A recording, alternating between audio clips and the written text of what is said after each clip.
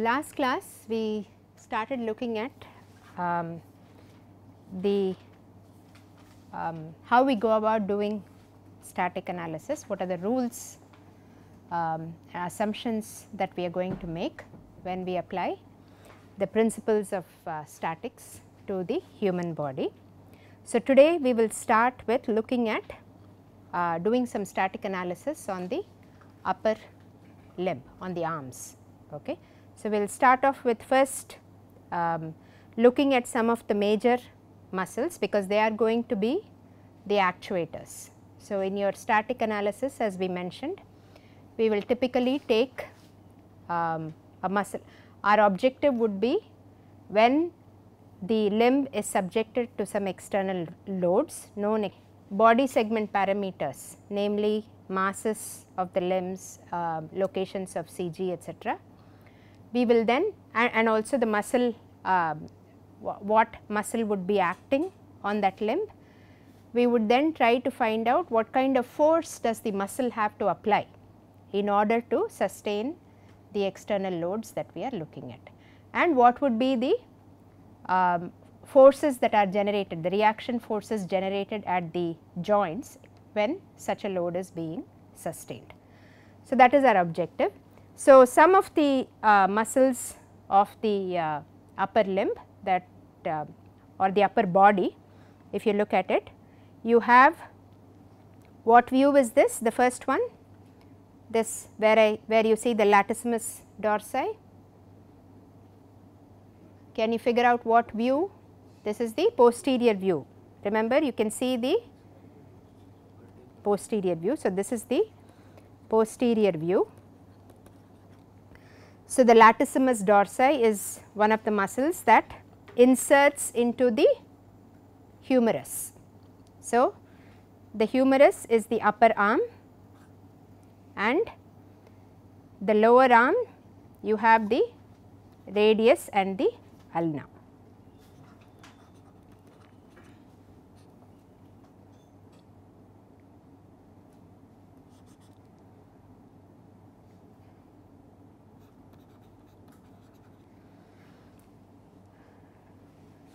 So, you have so if you look at the muscle and you know that it can only apply tension, you can kind of figure out what sort of motions it is going to influence. So, if this muscle contracts, what is the effect do you think it is going to have on the hu humerus?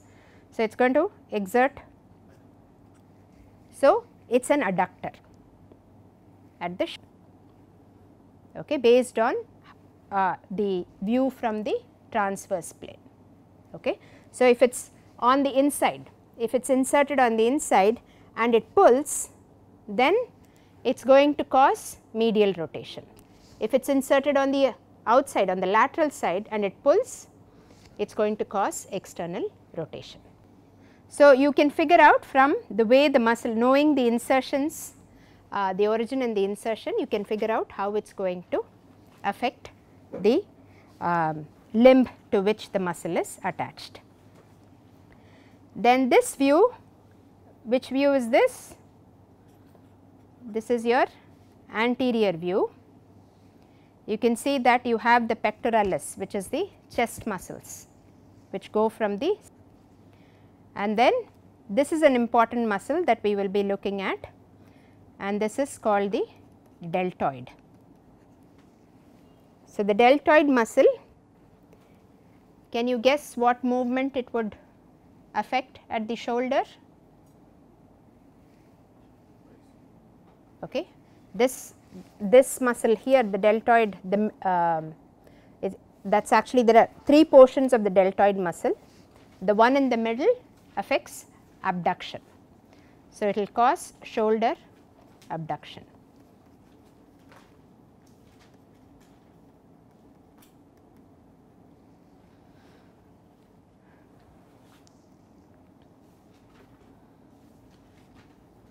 This again is a posterior view and for the forearm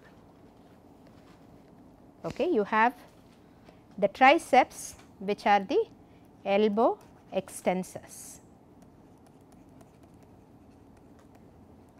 So, they cause extension of the elbow, the triceps muscle. And then in the anterior view, you actually have three muscles which cause which are considered elbow flexors. So, this biceps, the brachialis and the brachioradialis are all elbow flexors.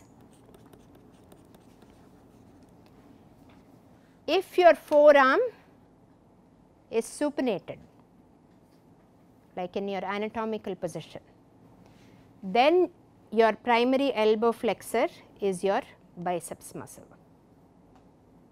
Okay. In most other orientations the brachialis actually flexus is the primary elbow flexor, but if the forearm is supinated then the biceps. So, that is why if you are working the biceps you are always carrying a weight like this and working the biceps.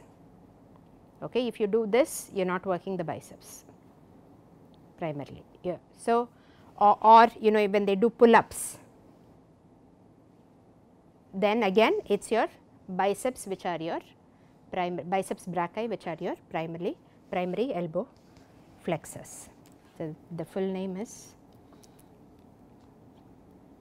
biceps brachii.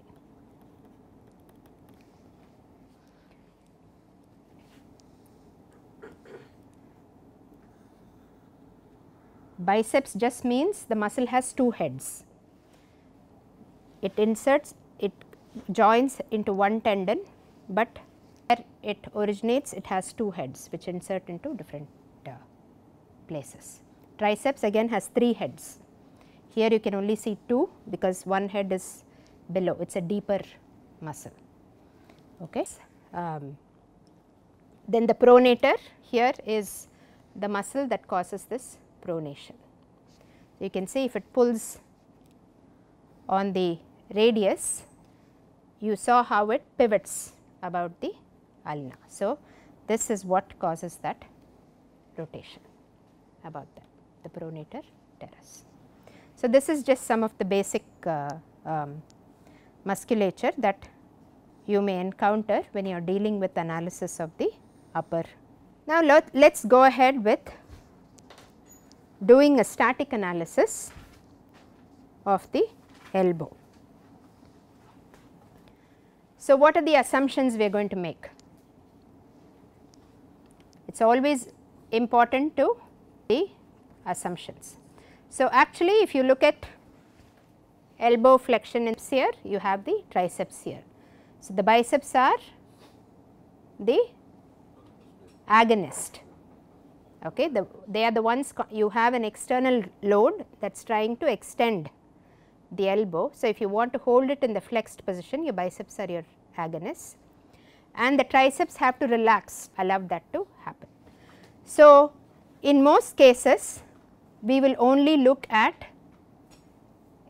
the agonist muscle. See we want to rest okay we will do a planar analysis in the sagittal plane. Okay, we are only looking at so, we are assuming that the elbow is essentially a hinge. Okay, we are looking at the elbow as a hinge joint which causes rotation in the sagittal plane. So, we are doing a planar analysis and we are assuming that elbow does not change. Okay, so, we, we know um, a single position, but we are assuming that it is a hinge joint. So, it is like a pin. Oops.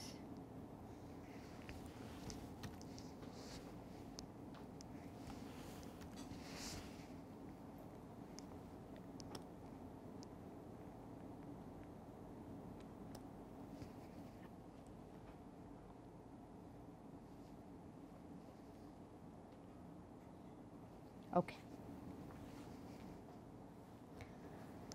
So, if you look at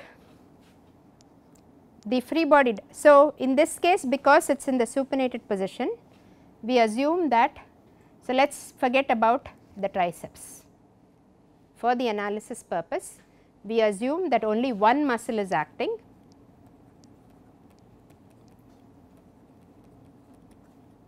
and we assume that that muscle is the biceps. So, we are neglecting the effect of the other muscles and also the ligaments all the other structures. And we assume in this case that say the line of action of the muscle is known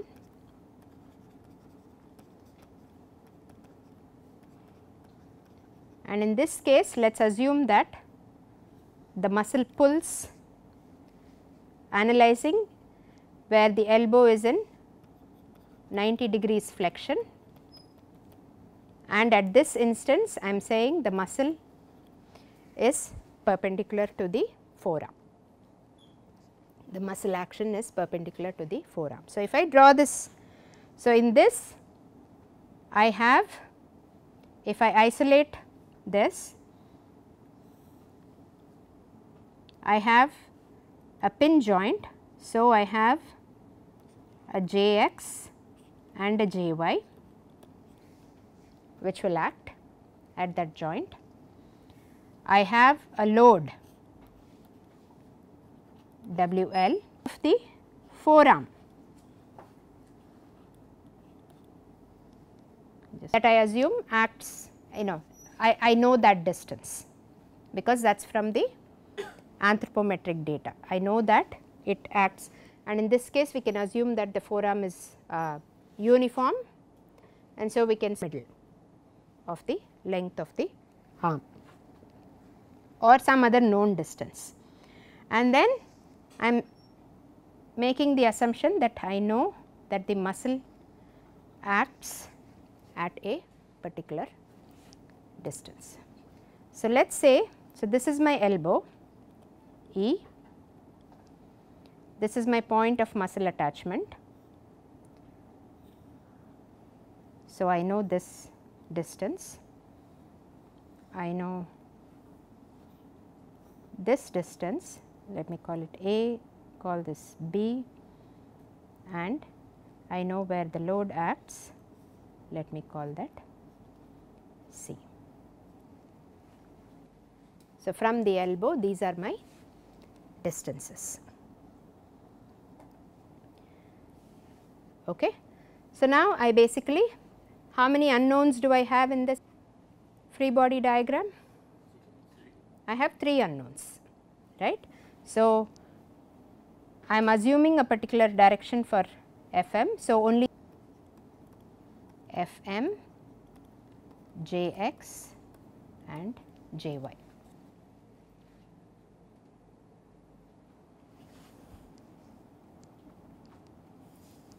So, now I just apply the equations of static equilibrium which would be sigma f equal to 0 which basically gives me two equations sigma f x equal to 0 sigma f y equal to 0 and then sigma m equal to 0. So, I can take moments about the elbow. So, if I take moments about the elbow Jx and Jy are eliminated. So, I have only one unknown. So, if I let us counterclockwise is positive. So, I have Fm A minus W A into B minus W L into C equal to 0.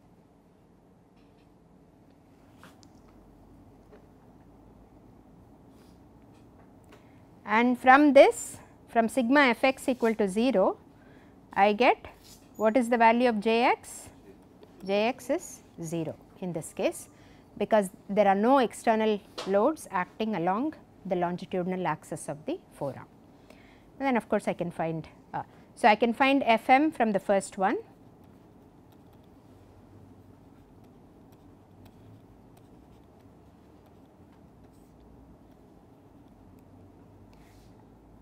and J y will then be equal to W a plus W l minus F a.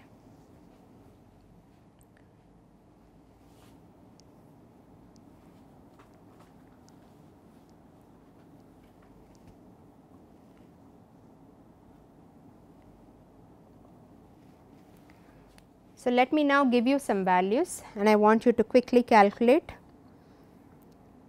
so, let us say the weight of the arm is 20 newtons which is about 2 kgs. Weight of your forearm is about 2 kgs 20 newtons. The weight of the load that you are carrying is so you are carrying an 8 kg so about 80 newtons okay and I will give you A equal to 4 centimeter, B equal to 15 centimeter and C equal to 35 centimeters. Can you quickly calculate and tell me what are the values of Fm, Jx and Jy?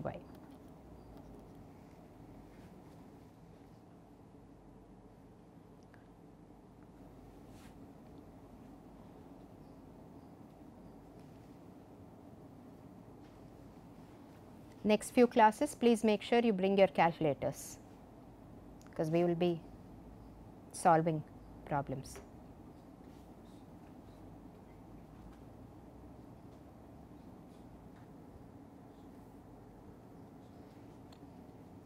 Anybody?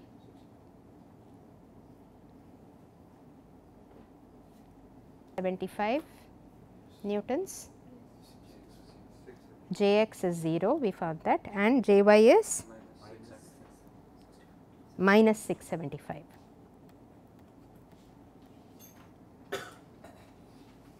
minus 675 newtons. That means it is acting in the opposite direction. Okay. So, if you see here the muscle force that is developed is almost 10 times the load that is being carried. Okay. So, and that is because of the small moment arm at which the muscle acts.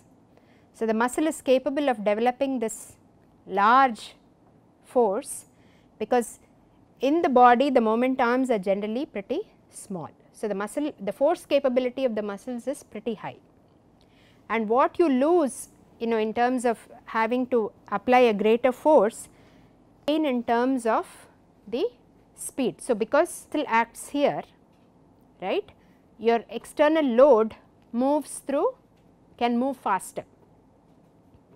So, that is the compromise that is made in the body you have to exert large uh, move faster. Okay. So, Uh, and what kind of a lever would this be? Here if you look at it this is essentially a lever.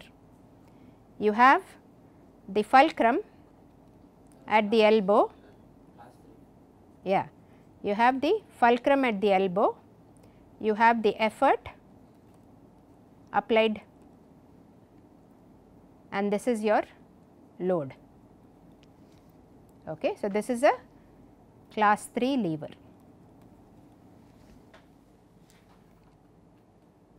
In the body.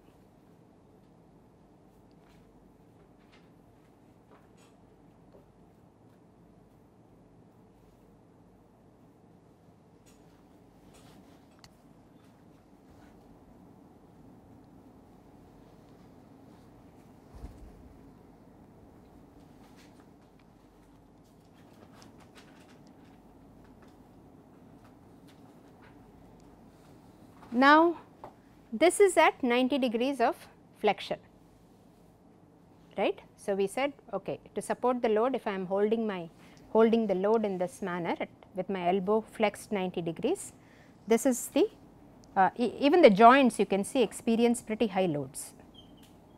Okay. So, this is um, that is equivalent to a 67 kg load at that joint. So, that is um, so our body is capable of um, handling pretty high um, loads. So, if you look at it this angle at which the elbow is uh, flexed makes a difference in the effectiveness of the muscle force. So, if I were trying to hold the same load instead of at 90 degrees uh, flexion at an angle greater than that.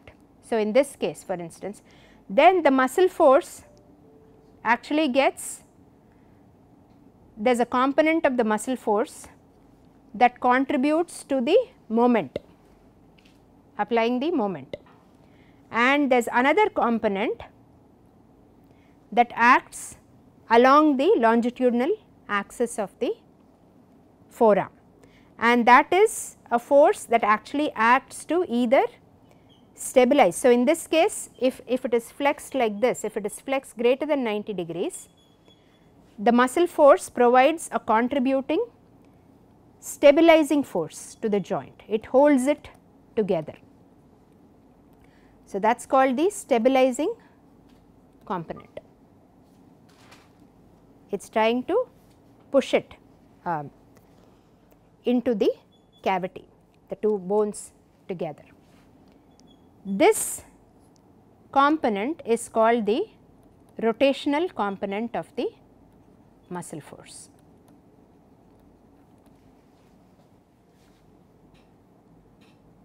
Here the assumption we are making is that the angle of insertion is still the same, whereas in actuality you will see that as your elbow flexion uh, changes, you can see that the angle of insertion is also going to change okay and we will see that in another uh, uh, problem.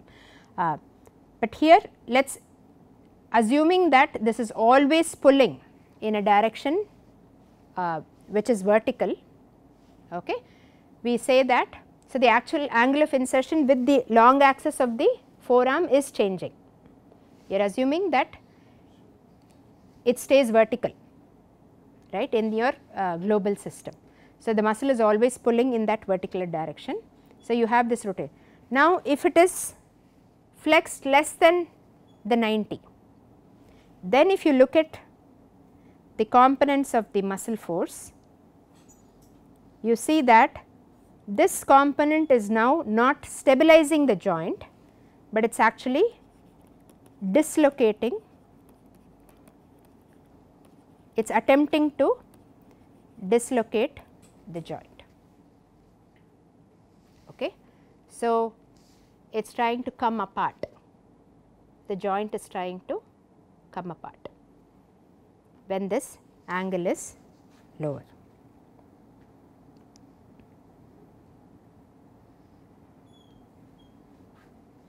It is also called the dislocating or sliding component.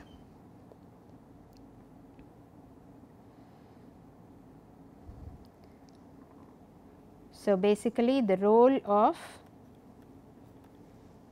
we will call this rotational component Fm normal because it is normal to the long axis of the forearm. We will call this component Fm T tangential. So, role of tangential component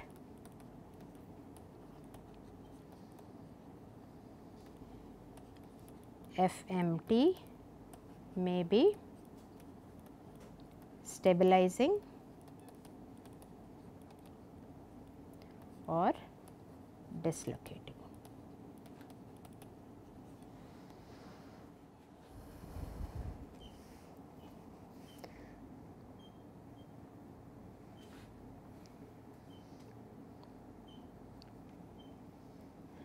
So,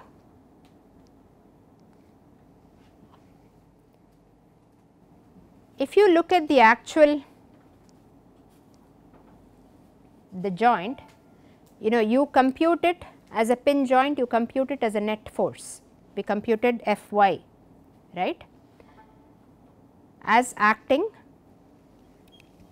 downwards compressing the joint.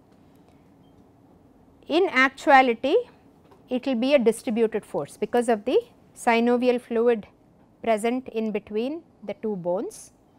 They are not in direct, no it is not a point contact. Okay.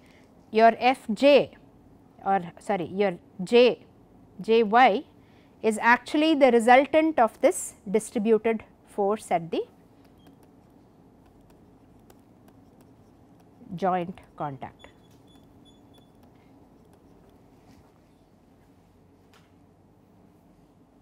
So, in most synovial joints that is what happens.